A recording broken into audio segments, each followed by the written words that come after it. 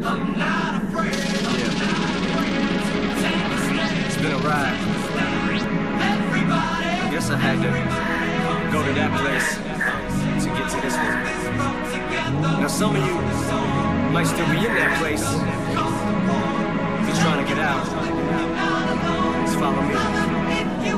I'll get you